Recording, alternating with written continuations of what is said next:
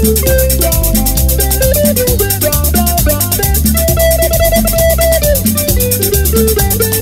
my name is Rebekah and I'm a junior in the nursing program here at UT.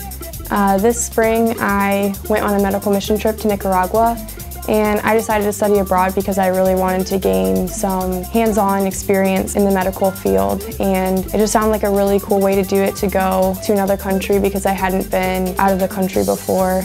My trip to Nicaragua was a great experience because I got to gain a lot of new knowledge about the medical program and I just got to see a lot of things that I didn't expect to see. I got to just get a lot of hands-on experience. One of the things I really enjoyed was the people because they were so grateful of the care that we were giving them and it was so cool to see them just be so happy even though they were waiting in lines for hours. Um, and they just always had a smile on their face and I feel like it was a completely different experience um, than here in America because we get kind of impatient if the doctor isn't there right away, but they were just happy to be getting the care that they were getting.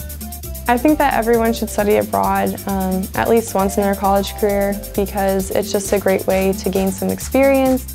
I just think that traveling to another country is a really cool experience. Um, you're able to learn a lot about other cultures and other people.